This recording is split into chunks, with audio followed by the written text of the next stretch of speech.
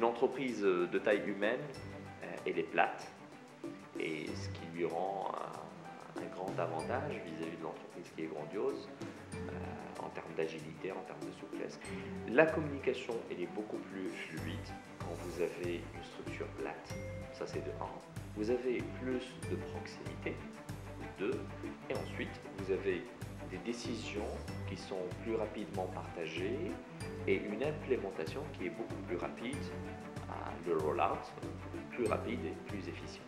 Des fois, il suffit de d'inscrire une couche, un niveau de collaborateurs dans des formations qui les rend beaucoup plus autonomes et qui fait que la couche hiérarchique supérieure est amenée à disparaître.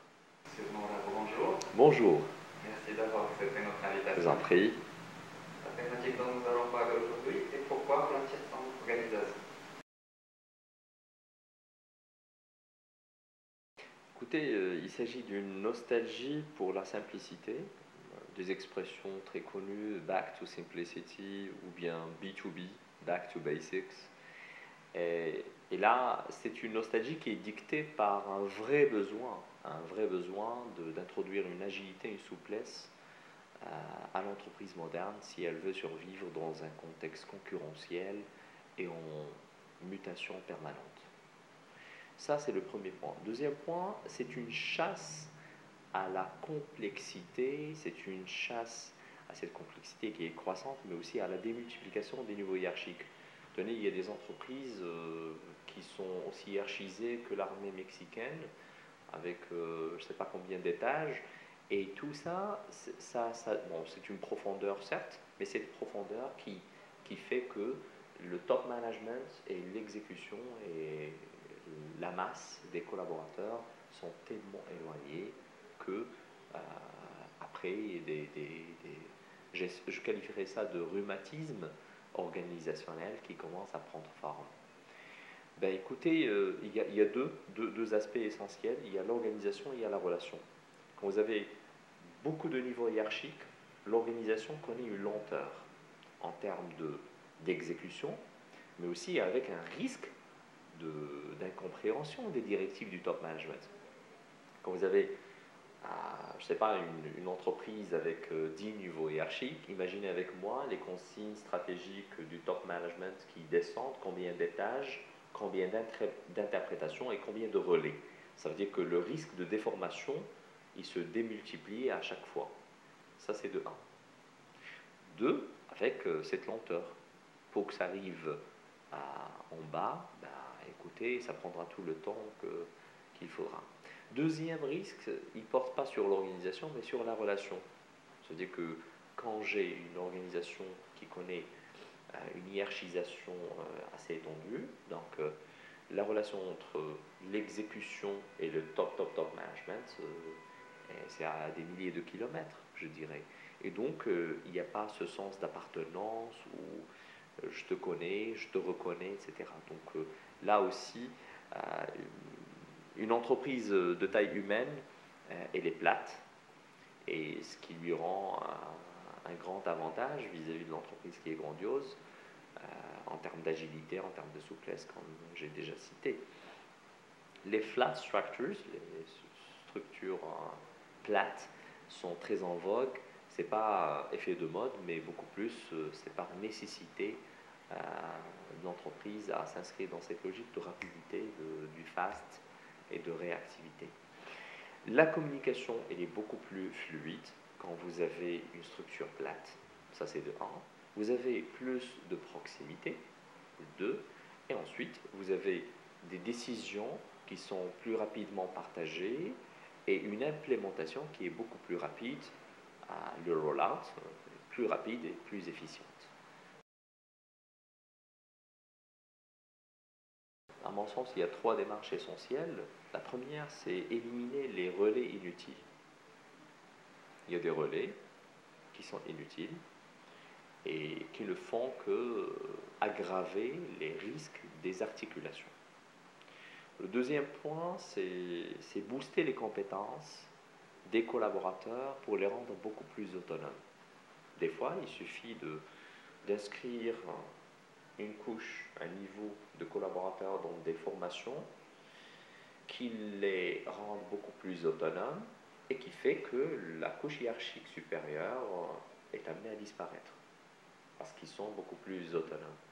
Troisième point, il s'agit du concept d'empowerment. C'est quoi l'empowerment Il ne s'agit pas simplement de la délégation, mais on ne délègue pas juste des tâches et des missions, on délègue aussi le pouvoir décisionnel qui va avec. Donc il y a énormément d'entreprises qui ont des couches hiérarchiques qui, qui ne font que prendre des décisions.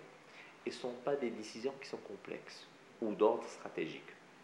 C'est souvent d'ordre opérationnel, voire le cas échéant tactique.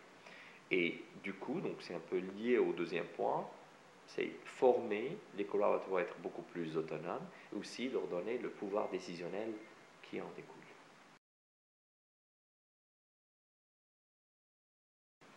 Ben là encore, je vais adopter une approche tripartite. Euh, j'identifierai éventuellement trois risques.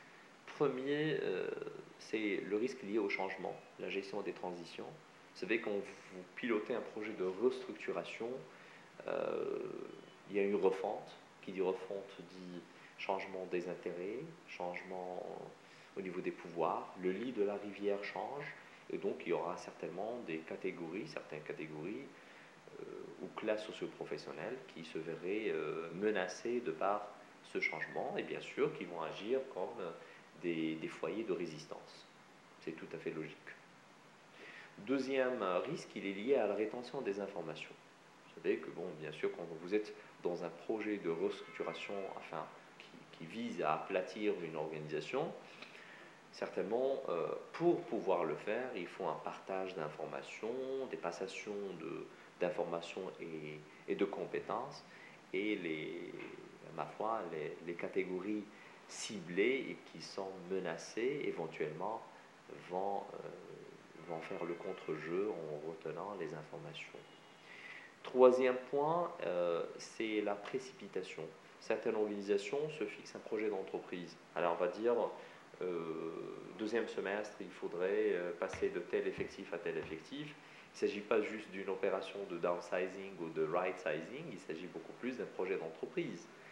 Et pour cela, il ne faut pas confondre entre vitesse et précipitation. C'est-à-dire que, bon, oui, on a des délais, on a des deadlines, mais ces délais et ces deadlines doivent, à la conception, prendre en considération le fait que ça demande beaucoup de temps. C'est un projet qui s'étale dans le temps et dans la durée, et qu'il ne faut pas euh, précipiter les choses. Pourquoi? Parce que c'est un changement, c'est une refonte, il y a des intérêts des, des hommes avec H majuscule, et il y a bien sûr des clans, des lobbies, des résistances, naturellement, qu'il faudrait prendre en considération. Il ne s'agit pas d'une transformation ou transition structurelle et organisationnelle uniquement. Il s'agit aussi et surtout d'une transition culturelle.